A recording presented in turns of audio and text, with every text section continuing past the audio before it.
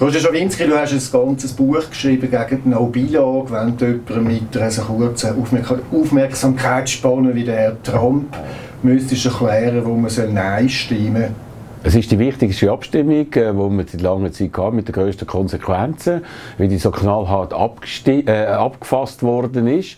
Und äh, da kann man ja nicht mehr richtig umgefetteln, wie das jetzt die Initianten offenbar machen um äh, auf die Art und Weise das Ganze abzutempieren. Das geht nicht. Und darum müssen sich die Leute eine Meinung bilden und müssen Fakten haben, warum äh, das äh, Mediensystem oder ein wichtiger Teil des Mediensystems einfach auf einen Schlag kaputt gemacht werden oder warum eben nicht. Ich habe Ende 90er Jahre, äh, Ende 80er Jahre wieder im Bonus geschafft und wir haben immer gemüdet, dass sie in ihrer Medienkolumne einmal etwas anderes soll schreiben als gegen das Monopol von der SRG. Jetzt wundert es natürlich viel, dass ausgerechnet du die SRG verteidigst, warum kann, das ist das meistgehörte Argument von der Gegner von der SRG, warum kann der Markt das nicht richten? Also gut, ich bin immer gegen die SRG und vor, vor allem gegen das Monopol und ich bin auch gegen die SRG und ihr Management, weil das Gefühl hatte, die haben da eine falsche Politik gemacht, aber ich bin nie für die Zerstörung von der SRG gewesen. Warum nicht? Die Schweiz ist ein kleines Land und ich habe es wirklich im eigenen Leben äh, ziemlich brutal erlebt, als ich Tele 24 gemacht habe, dass man mit Werbung in diesem kleinräumigen Land, vor allem wenn man sieht, dass es noch vier Sprachen sind, dass man nicht hochqualifizierte und vor allem teure Sendungen im Fernsehen kann produzieren Im Gegenteil zum Radio. Radio ist ein Bildungsmedium, ein Medium von Leuten. Fernsehen ist ein Medium von Geld. Und das Geld kann man in der Schweiz nicht mit einem Einnahmestrom, mit Werbung reinholen, wenn man zum Beispiel Informationen machen will, die ja leicht verderbliche Ware ist. Zum Beispiel der Kaiser von 3 Plus macht das nicht. Er macht nur Unterhaltung, weil er weiss, das kann er immer wieder recyceln und das kann er auf die Art und Weise amortisieren. Kann man mit Informationen nicht. Und darum auf dieser Basis habe ich gesagt, muss man, und auch meine Erfahrungen, die ich jetzt gemacht habe in Deutschland, bis Sat 1 bei einem grossen deutschen Privatsender, braucht es ein duales System, einen öffentlich-rechtlichen Sender oder öffentlich-rechtliche Sender und private Sender. Jetzt gibt es ja viele, die sagen, äh, wenn die SRG nicht wäre, oder wenn die SRG keine Werbung machen dürfte, dann hätten die Privaten mehr Werbegelder und könnten dann eben Informationen selber machen. Ja, das sind einfach Leute, die so ein bisschen irgendwie Milchmädchen-Rechnung machen. Das geht gar nicht, weil wieso sollen die dann mehr Werbung bekommen? Wieso sollen ihre Werbepreise aufgehen. Die Privaten in der Schweiz haben äh, heute einen Marktanteil von genau 7%, sind also unbedeutend. Äh, der würde auch nicht massiv aufgehen. Wenn das Nummer 1 weg ist, dann profitiert nicht das Nummer 10 und das Nummer 11, sondern das Nummer 2 und 3. Und das sind vor allem deutsche Privatsender. Die würden abrahmen, die können jetzt schon mit null oder ganz wenig Programmkosten 300 Millionen aus der Schweiz abzügeln. Das würde massiv aufgehen. Aber die Rechnung äh, von der Schweizer Privatsender würde sich nicht verändern und die würde überhaupt nicht profitieren. Ähm, warum braucht denn die SRG eigentlich? Eben, das System ist so entstanden in Europa, anders in Amerika, dass staatliche Institutionen das gemacht haben, zuerst aus technischen Gründen. Und jetzt ist das eben eine zivilisatorische äh, Errungenschaft, dass ein Betrieb gibt, der nicht nach kommerziellen Kriterien muss äh, agieren. Ja, ich bin auf beiden Seiten gewesen, beim Privat und beim öffentlich-rechtlichen.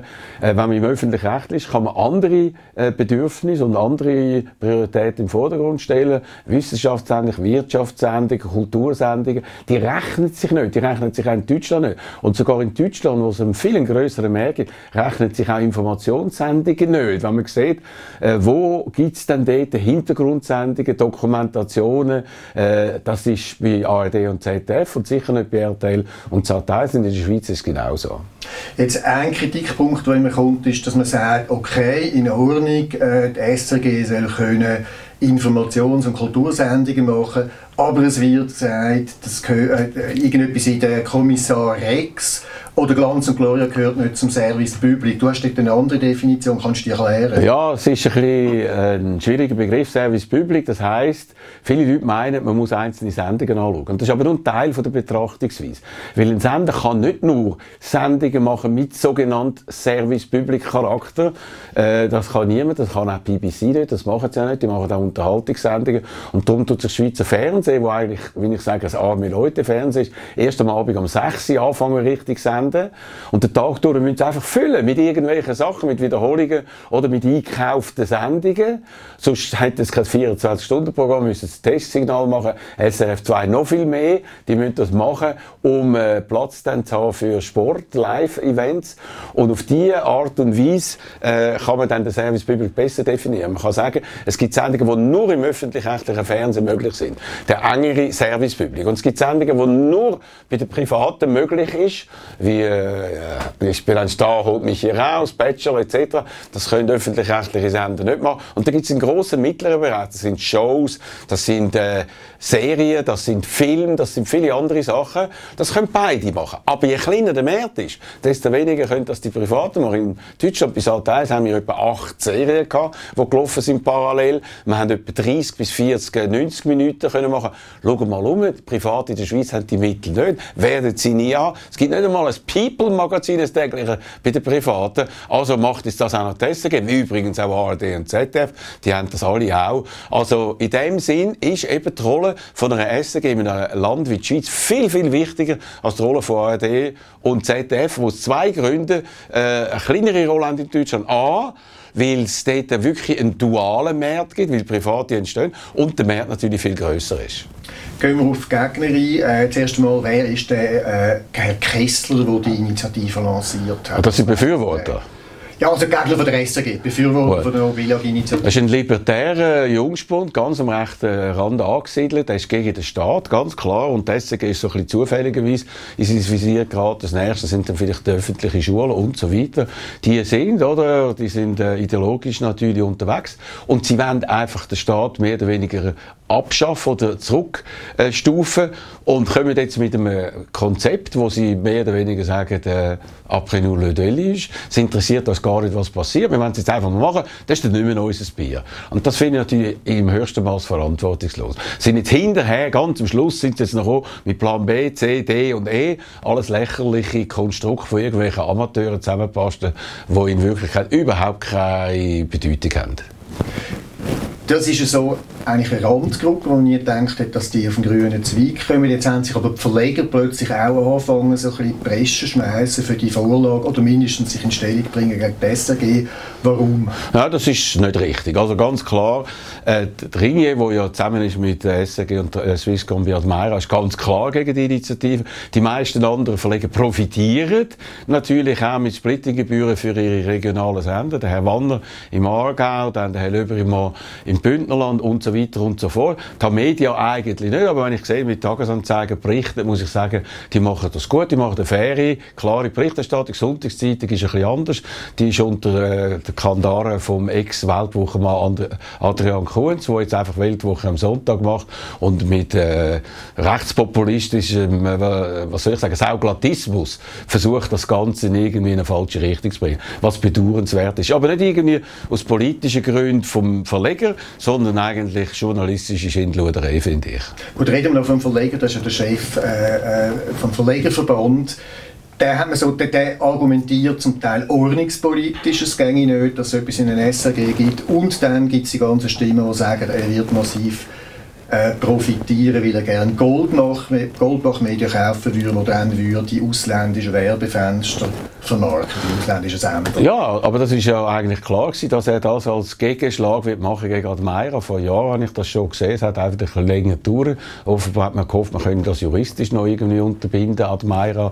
Und jetzt, wo man gemerkt kannst du, kannst du für jemanden, der nicht weiss, was das genau ist, das Admira schnell Admira ist einfach ein äh, Bund, ein Werbeverbund zwischen der SEG, Swisscom und Ringe, etwas ganz Seltsames. Das ist Roger Döweg zusammen mit dem Mark Walder vor allem von Ringe eingefädelt worden. Das ist irgendwie meiner Meinung nach etwas, das nie funktionieren Ich habe das von Anfang an gesagt. Es kommen verschiedene Kulturen zusammen, die ganz unterschiedlich sind. Es geht auch ordnungspolitisch nicht. Es geht meiner Meinung nach auch nicht, dass die SEG im Bereich von der Zielgruppe Werbung, also wo man direkt werbemäßig äh, Peit wird da eine führende Rolle soll spielen als Gebührenfernsehen. Also es ist genauso schlimm rausgekommen, wie ich gedacht habe. Und das ist jetzt in der Kritik.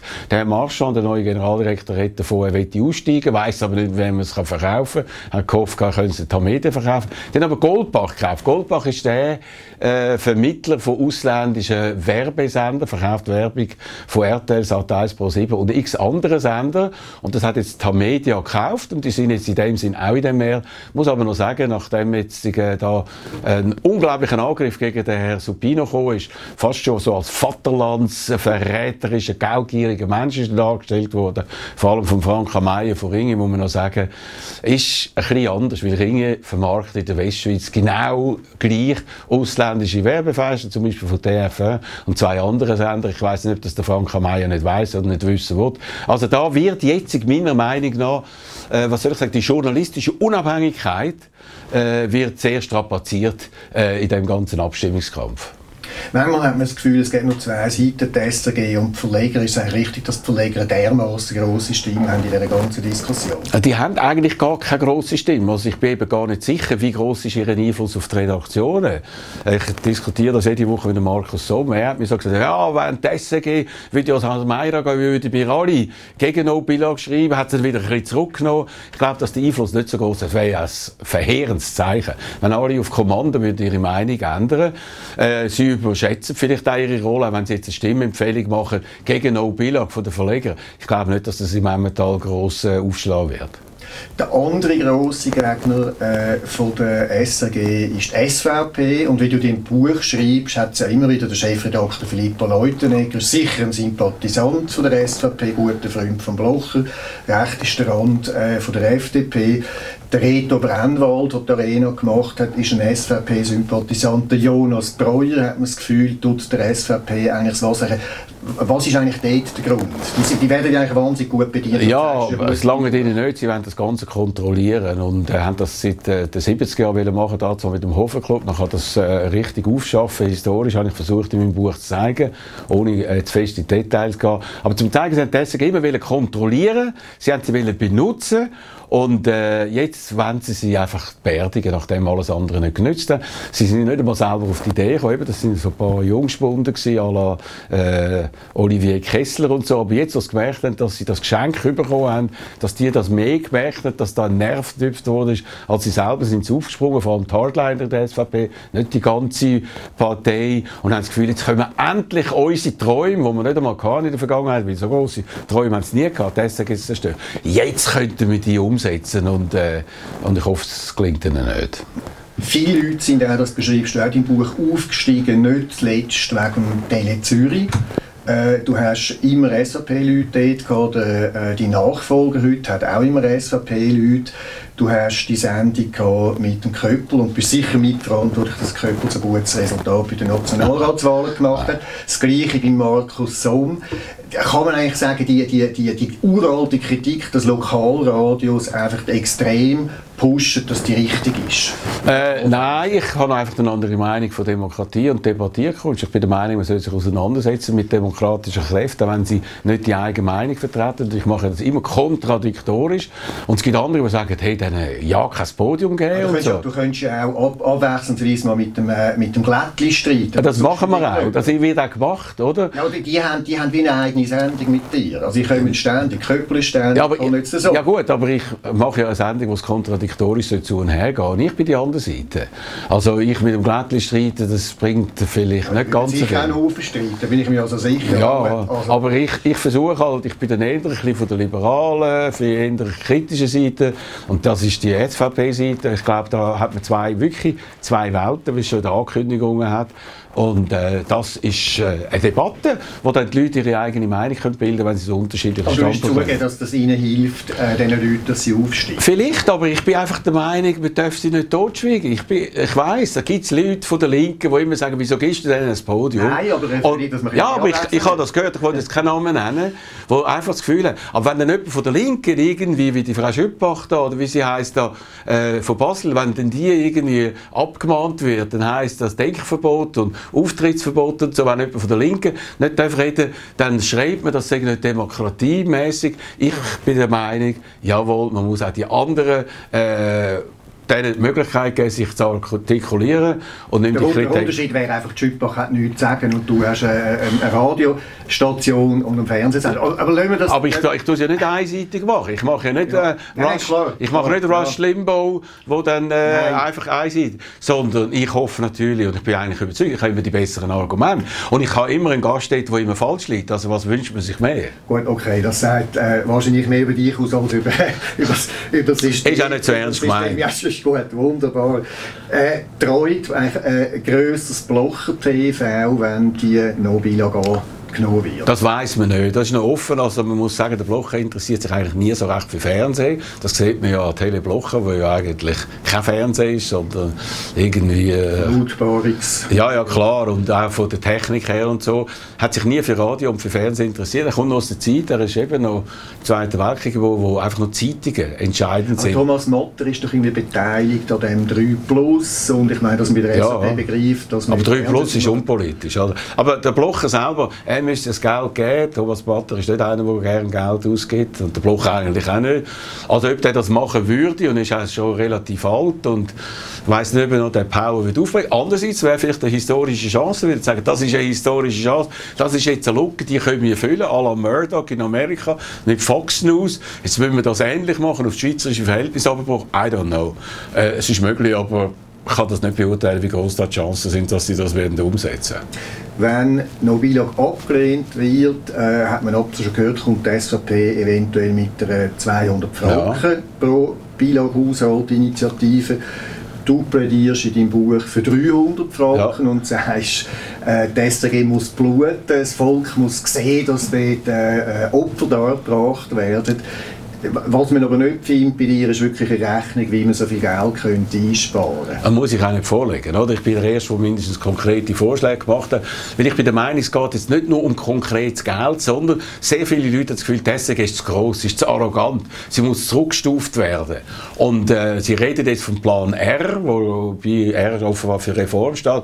Aber ich habe wirklich große Bedenken, ob die dann bereit sind, wirklich Einschnitt zu machen. Und darum habe ich gesagt, es muss Blut fließen. Die Leute müssen sehen, dass etwas passiert. Aber wenn sie es dann irgendwo hinten drauf erwischen und sagen, noch fünf Buchhalterstellen sind abgebaut worden und dort noch ein bisschen, das wird einfach nicht lange, das wird die Stimmung nicht ändern, sondern viele Leute werden dann sagen, jetzt haben sie uns vorher so viel versprochen und nachher passiert nichts. Sie müssen natürlich ein bisschen sparen, weil ihre Einnahmen gehen zurück. Sie sind jetzt ja auch deckelt, also Gebühren auf 1,2 Milliarden, gehen nicht mehr weiter rauf. Kleine Sparmaßnahmen müssen automatisch kommen und das ist unabhängig von No-Billag. Aber ob es dann weiter darüber ausgehen und dann noch ein bisschen mehr runterfahren, äh, weiß ich nicht. Und das mit der 200-Franken-Initiative ist natürlich auch eine Sache noch vom Abstimmungsergebnis, glaube ich. Wenn es knapp wird, dann wird sie kommen. Wenn es nicht knapp wird, dann äh, wird sie nicht kommen. Das heisst, Leute, die das nicht wollen, die müssen nicht jetzt irgendwie äh, da taktisch sagen, ja, wir geben jetzt ein Ja ein, um den SCG und Denkzettel zu machen. Sehr gefährlich. Kann Folgen haben. Kann nicht nur ein Ja geben, sondern kann auch noch neue SVP-Initiativen auslösen. Äh, viele Leute, die nicht wollen, zahlen sagen, ich schaue ja sowieso nur äh, Sachen am Internet, ich habe kein Fernsehen, ich habe auch kein Fernsehen, mit den meisten Leuten, die ich kenne, mhm. haben äh, kein Fernsehen mehr, müsste man eigentlich dem nicht ein bisschen mehr Rechnung tragen. Also wenn man jetzt mal sagt, äh, man, man, man wehrt die No-Beilage ab, wie geht man um mit diesen neuen Formen von äh, vom Medienkonsum? Also die Frage erstaunt mich von jemandem wie du, der weiss, dass auch Sachen im Internet produziert werden. Du schaust ja sicher auch Sachen im Internet vom, vom, ja. vom Fernsehen ja. eben und die müssen genauso produziert werden. Also darum die Argumentation ist irgendwie Hanebüchen und ist eigentlich Grundlage wieso man das Haushalts äh, äh, Abgabe gemacht hat 2015, weil es kommt nicht mehr auf die technische Art an, wie man die Sendungen oder äh, das Programm konsumiert, sondern dass es muss hergestellt werden und irgendwo ankommt. Und äh, darum hat man das müssen machen, weil eben viele Leute wie du, die haben kein Fernsehen, aber das heißt noch lange nicht, dass sie kein SCG-Programm schauen. Aber dann müssen wir eigentlich sagen, mehr mit dem Programm ins Internet und nicht weniger. Ja, sie sind mit allen Programmen im Internet und so, aber die Frage ist ja nur exklusiv im Internet. Das machen sie nur bei Sachen für Junge, weil die Jungen erreichen es nicht mehr äh, mit dem äh, Fernsehen, vor allem mit dem linearen Fernsehen. Jetzt ist ja angekündigt worden, eine neue Soap und so, ein bisschen nachgemacht von RTL Teil 2 tönt, also so ein bisschen Berlin Tag und Nacht. Naja, also offenbar äh, fällt einem auch nicht so viele, wenn auf die Art und Weise ein da, so die Jungen, so ein bisschen urban, ein bisschen grob, ein bisschen mit Sex, nehme ich an, wenn auf die Art und Weise einfangen. Aber man muss sagen, die deutschen Sender, die deutschen Fernsehsender haben ein Problem mit jungen Zuschauern. Und zwar nicht nur ARD und ZDF, sondern auch die grossen privaten wie RTL, Pro7 und Sat1. Ist ein Rätsel, das bleibt. Äh, die Lokalradios funktionieren. Äh, beim Fernsehen hat man eigentlich doch auch einen Preis zu zahlen. Ich bin da mit einer Kamera, die kostet 300 Stutz. Mit dem kannst du auf eine grosse Leinwand. Ich habe bei Westnetz eine ganze Pressekonferenz mit dem Handy übertragen. Äh, warum wird Fernsehen nicht eigentlich billiger? Mit dem Fernsehen wird schon billiger, aber die Leute sind immer noch gleich teuer. Und das ist das Entscheidende. Es sind nicht die Apparate. Klar, früher die Studioapparate sind natürlich viel teurer. Als ich angefangen mit Tele Zürich haben wir mit H8 äh, Kameras gemacht, nachher mit ganz kleinen Ebensättigen. Da hat es technische Verbesserungen gegeben und auch äh, eben, es ist viel kleiner geworden und so weiter. Aber das Entscheidende, wenn du willst, äh, qualitative Sendungen machen, müssen die Leute recherchieren, machen, filmen und schneiden etc. Und darum äh, muss man einfach auf das in erster Linie schauen. Wunderbar, zeig noch schnell das Buch. Noch wegen dem, noch Beilage, die restlichen Argumente findet man da sehr ja, interessant. Und vor allem ein das Problem von dem Buch, weil ich gemerkt habe, ich habe unglaublich viel Publicity gehabt. Und alle Leute haben das Gefühl, sie wissen alles, was in dem Buch steht, weil so viel darüber geschrieben wurde. Falsch. Stimmt nicht. Stimmt, stimmt nicht. Man muss es wirklich, ja. das aufschaffen und erklären, wie hat es überhaupt dazu können kommen, dass wir in so einer Kalamität sind. Wie hat es dazu können kommen, dass wir jetzt am 4. März russisch Roulette mit unserem Mediensystem spielen. Wer sind die Verantwortlichen? Wie ist die heutige Situation? Und was kann passieren nach Nobila? Und für das habe ich eben ein Buch schreiben, da langt ein Artikel nicht, auch nicht ein längeres Interview. Und äh, darum, wenn man wirklich wissen das Argument haben, und ich habe es für 12 Franken gemacht, habe kein Honorar, ich habe es so günstig gemacht wie möglich. Ich möchte, dass möglichst viele Leute äh, erfahren und nicht selber davon, irgendwie materiell profitieren. Herzlichen Dank.